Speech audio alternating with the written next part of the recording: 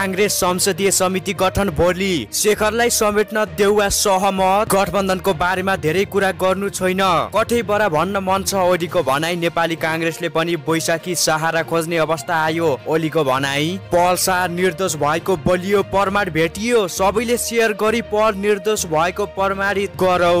युकेनी माथि रुसी हमलाको अन्त्य। त्यहाँ अहिले कस्तो अवस्था रहेको छ? के हुँदैछ यस विषयमा पुरा जानकारी? पश्चिम सेतीबारे एक लाख पत्र सहित माइती घरमा पर्दछन्। धनगढीमा सशस्त्र प्रहरीद्वारा छत्तिस लाख बराबरको सुन चाँदी बर्माद। काङ्ग्रेसका दुई महामन्त्री गगन र विश्व प्रकाश विभाजित चुनावी गठबन्धन बारे फरक मत ल्याउने प्रति युनिट अडतिस रुपियाँमा पनि किन्न नपाएपछि उद्योगमा काट्न थालियो बिजुली। पन्ध्र वर्षपछि तुलसीपुरमा वीरेन्द्रको शालिग पुनस्थापना। प्रतिकूल मौसमले हवाई उडान प्रभावित। ढिलो भए पनि रद्द नहुँदा विमानस्थलमा भिडभाड। यस लगायतका अन्य खबरहरू आजकै भिडियोमा।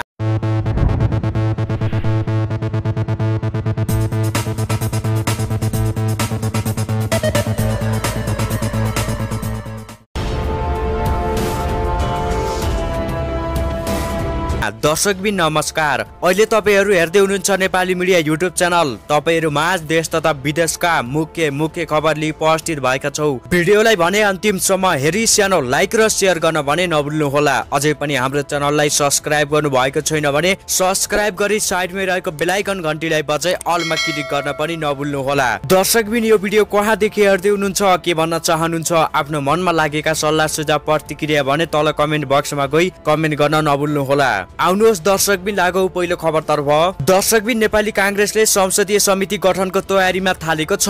सोमबार पार्टीको केन्द्रीय समिति बैठकपछि काङ्ग्रेसका शीर्ष नेता बीच मङ्गलबार संसदीय समिति गठन गर्ने सहमति भएको छ। काङ्ग्रेसमा संघीय संसद प्रदेश सभा र स्थानीय तहको निर्वाचनका पार्टीका तर्फबाट उम्मेद्वार चयन गर्ने चार तहमा संसदीय समिति गठन गर्ने व्यवस्था रहेको छ। उम्मेद्वार छान्नका लागि काङ्ग्रेसले एक निर्वाचन क्षेत्र सतहत्तर जिल्ला सात प्रदेश र केन्द्रमा संसदीय समिति बनाउने छ। भोलिको बैठकले केन्द्रीय समिति समिति गठन गर्न लागेको महामन्त्री विश्व प्रकाश शर्माले बताएका छन्। बाँकी समिति पार्टीको सम्बन्धित कार्य समितिले गठन गर्नेछ। शुक्रबारदेखि जारी केन्द्रीय समिति बैठकमा नेताहरूले राखिसकेपछि संसदीय समिति गठन गर्न लागि हो। सोमबार साँझ पार्टी कार्यालयमा बसेको शीर्ष नेताको बैठकले शेखर कोइरालालाई समेत समेटेर संसदीय समिति बनाउने सहमति जुटाएको छ।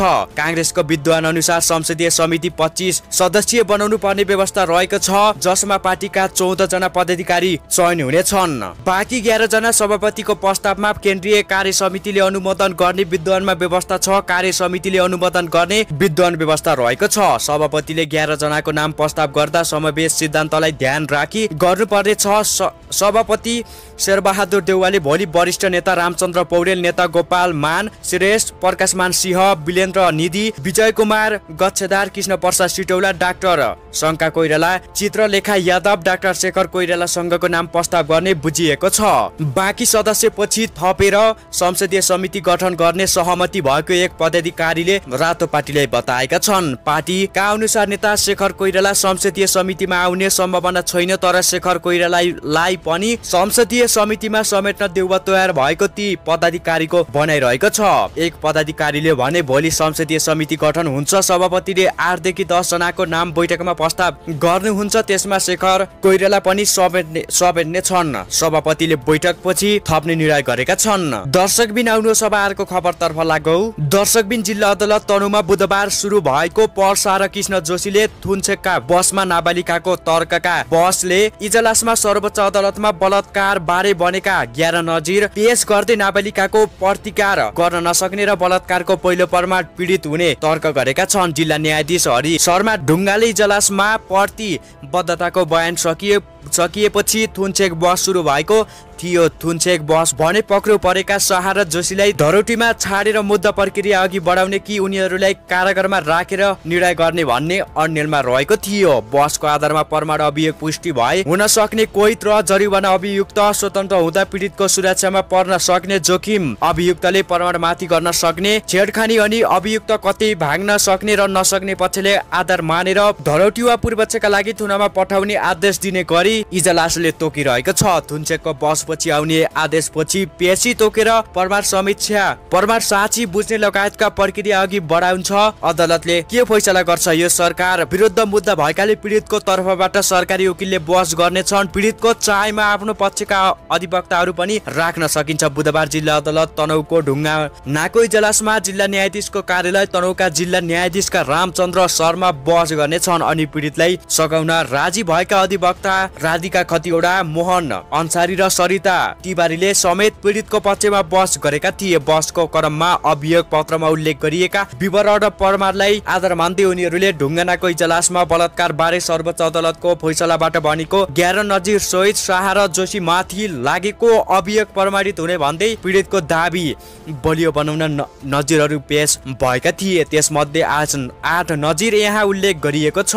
दर्शकबिन सात वर्षकी बलात्कारको अभियोगमा कारागारमा रहेका दीपक रावलले सर्वोच्च अदालतमा पुनवेदन दिएका थिए। न्यायाधीश ओम प्रकाश मिर्स र भण्डारीको इजलासले सुनवाई गर्दै दुई हजार चौहत्तर पुस तेइसमा फैसला गरे बालिकाको बालिकाको पक्षमा रहेका छन्। रावलमाथि घाँस काट्न जङ्गलमा गएकी बालिकालाई गौबारीमा लगेर बलात्कार गरेको अभियोग थियो। जुन जिल्ला अदालतबाट कसुर प्रमाणित भएर दस वर्षको सजाय भएको थियो। उनी फैसला विरुद्ध उच्च हुँदै सर्वोच्च पुगेका थिए। रावलले घटना अस्वीकार गर्दै फसाएको दावी गरेका थिए। फैसलामा जबरजस्ती कडडीको कार्य लुकीछिपी गरिने अपराधिक कार्य भएकाले त्यसमा प्रत्यक्ष साँची हुन नसक्ने र त्यस्तो अपराधमा पीडितको भनाइ अन्य रहेको पनि बताएका थिए। फैसलामा अन्य वस्तुगत प्रमाणितले पीडितको भनाइलाई गल्ती साबित नगरा नगराएसम्म त्यसलाई स्वीकार गर्नुपर्ने उल्लेख रहेको छ। शाह विरुद्ध कि पीडितको पनि प्रत्यक्षदर्शी छैनन्। यो नजिरले पीडितको भनाइ अन्य अनर्थ नभएसम्म प्रमाण मान्नुपर्ने उल्लेख गरेकाले अहिलेको अवस्था पीडित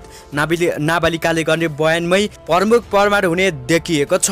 दर्शक बिन आउनु सभाहरूको खबरतर्फ लागौ। दर्शक बिन नेकपा एमालेका अध्यक्ष केपी शर्मा ओलीले नेपाली काङ्ग्रेसको शक्ति खियाँदै गएर दुवैतर्फ बैशाखी टेक्ने अवस्थामा पुगेको बताएका छन्। कपिल वस्तुको आयोजित संघीय संसद गुप्ताको नेतृत्वमा एमाले प्रवेश गरेकाहरूलाई स्वागत गर्दै गर्दै अध्यक्ष ओलीले कुनै जमानमा बलियो र ठुलो जुरेर भएको सारे गोरु जस्तै बनेको काङ्ग्रेस अहिले कमजोर बन्दै गएको बताएका छन्। गठबन्धनको बारेमा आफूलाई धेरै कुरा गर्नु नभएको भन्दै ओलीले भने मलाई गठबन्धनको बारेमा धेरै कुरा गर्नु छैन।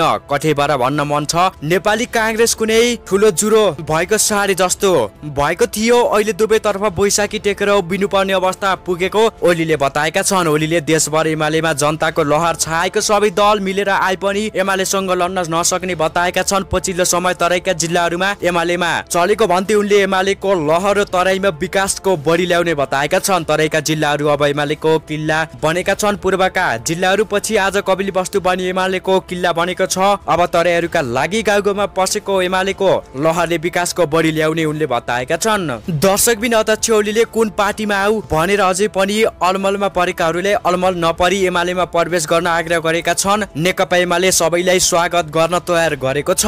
म आए सरह मारेर एमालेमा आउन ढिलाइ नगर्नुहोस् ओलीले भनेका छन् सामाजिक देशको उन्नति प्रगति र विकासका लागि एमालेको विकल्पमा नेपालमा कुनै पनि अर्को दल नभएको दावी गर्दै देशको विकासको अगुवाई एमाले गर्ने बताएको छ। एमालेकै अगुवाईमा नेपालमा ट्विनको युग अन्त्य गरी पलको युग सुरु गरिएको भन्दै ओलीले आठ महिना अगाडि सरकारबाट हट्नु परेका कारण केही सडक र पुलहरूको निर्माण पूरा गर्न नसक्ने बताएका छन्। एमाले पनि जहाजका कुरा गर्दा काङ्ग्रेसले हामीलाई उडाउने गर्थे अहिले कर्णालीमा।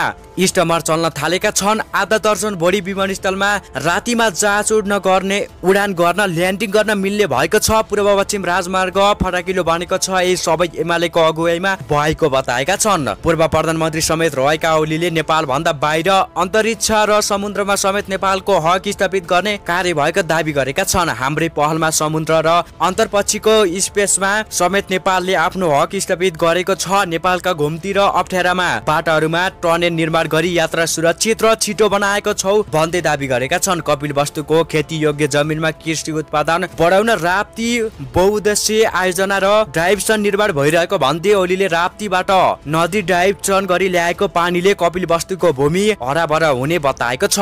उनले कपिल वस्तुलाई औद्योगिक औद्योगिक सहरको रूपमा विकास गर्नुपर्ने बताएका छन् तराई क्षेत्रमा कमजोर रहेको शिक्षा र स्वास्थ्यलाई बलियो बनाउन पछाडि परेका र आर्थिक अवस्था कमजोर भएका नागरिकका छोराछोरीलाई निशुल्क गुणस्तरीय शिक्षा र स्वास्थ्यको प्रबन्ध एमाले गर्ने दावी गरेको छ। दर्शक बिन आउनु सभाहरूको खबरतर्फ लागौ। दर्शक बिन गत फेब्रुअरी बाइसका दिन रुसी राष्ट्रपति भालन्दर पुटिनले छ दिनमै युक्रेनले आफ्नो सेनालाई कब्जामा लिने घोषणा सहित युद्ध सुरु गरे पनि महिला दिन दिन नसकिने समेत उनले पुष्टि पारेका छन्। युक्रेनी विरुद्ध युद्धको उद्घोष गर्दा गर्दै सोह्र वर्ष केजिबीमा गुप्तार भएर बताएका भालन्दर पुटिनले सन् उन्नाइस सय उन्नाइस सय पैसठीमा भए उन्नाइस सय सडसठीमा भएको छ दिन लामो अर्ब लामो अर्ब इजरायल युद्धलाई आफ्नो प्रेरणा बनाएका हुन्। रुसी सेनाले युद्धको यो एक महिनाको अवधिमा युक्रेनका कतिपय प्रमुख सहर। सहरहरू कब्जामा लिइसकेको छ। अरेबिक भट्टीदेखि सहरी भवनहरू रुसी बमका शिकार बनिरहेका छन्। रुसी सेनाका विरुद्धमा उत्रिएको युक्रेनी सेनालाई युक्रेनकै नागरिकको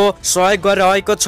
एक महिनादेखि चलेको युद्धको अहिलेसम्म देखिएको प्रकृति हेर्दा युक्रेनमा रुस र त्यहाँका राष्ट्रपति पुटिन नराम्ररी फँसेको संकेत मिल्न थालेको छ र युद्ध विश्लेषकहरूले मूल मूलत दुईवटा तथ्यमाथि बहस गर्न थालेका हुन्। विश्लेषकहरूका लागि अनुसार रुसी फौजले सहज युक्रेनलाई कब्जा गर्न सक्दैन। यदि रुसी फौजले युक्रेनमा कब्जा गर्यो भने त्यस अवस्थामा युद्ध लम्बिँदै जाने सम्भावना नकार्न सकिँदैन। फेब्रुअरी बाइसका दिन राष्ट्रपति पुटिनले किन युक्रेन माथि आक्रमण गर्ने घोषणा गरेका छन् सवालको जवाब अझै आएको छैन। पुटिन समर्थक रुसियनले युक्रेनले अत्याचार गरेको कारणले युद्ध सुरु भएको दावी गरिरहेको बताएका छन्। दर्शकबिन हाम्रो सभाको खबरतर्फ लागेको विश्व हुँदा आँखाले हेरेर गरिने दर्शकबिन विमानस्थलका अनुसार उडान ढिलो भए पनि रद्द नभएको र केही समय पर्खदै उडान गर्नुपर्ने हुँदा विमानस्थलमा यात्रुको भिड बन्ने गर्छ।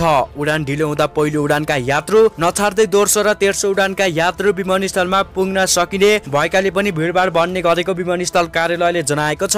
विमानस्थल कार्यालयका अनुसार राति उडान हुने राति उडान हुने विमानस्थलमा नौ बजेसम्म भए पनि उडान हुन्छ। सकेसम्म उडान रद्द नगरी यात्रुलाई गन्तव्यसम्म पुर्याउने काम विमानस्थल र वायु सेवा कम्पनीले गरिरहेको छ। आन्तरिक विमानस्थलबाट हुने अधिकांश उडान बिएफआर हुने गर्छ। कम भिजिट भिस्टाबाट हुँदा सबै उडान गर्नुपर्ने हुँदा निर्धारित निर्धारित समयभन्दा केही ढिलो हुन्छ। आन्तरिक आन्तरिक विमानस्थलबाट हुने उडान अब तर दैनिक दुई सय भन्दा बढी छन्। मौसम खराब हुन साथ भिजिट भिसा नपुगेर ढिलो हुँदा हुँदै व्यवस्था मिलाउन गाह्रो हुने भएकाले पनि यात्रुको भिड बन्ने गरेको छ सोमबार। एक सय बाहन्नवटा उडान राखेको बुद्धयरको काठमाडौँबाट तुबलिन टार जानेर तुमलिम टार जानेर उडान दुई रद्द भएको छ। बाँकी सबै उडान ढिलो हुँदै सञ्चालन भइरहेको र साँझ नौ बजेसम्म पनि उडान हुने बुद्धयरका सञ्चार सञ्चार संयोजक दिपेन्द्र कड़ले बताएका छन् उनका अनुसार भिजिट भिसा नपुगेर र बिहानै गइसक्नु पर्ने उडान प्रभावित प्रभावित हुँदा त्यसको असर अरू उडानमा पनि पर्ने बताएका छन्। विमानस्थल आइसकेका यात्रुलाई सकेसम्म गन्तव्यमा पुर्याउनु पर्ने भएकाले पनि ढिलो गरेर भए पनि उडान रद्द नगरी सेवा दिने करले बताएका छन्। करका अनुसार छिटै उडान गर्नुपर्ने पोखरा चितवन सुर्खेत टुब्लिन तार बाहेकका अन्य सहरी क्षेत्रका आन्तरिक विमानस्थलमा यात्रु उडान जारी रहेको पनि बताएका छन्।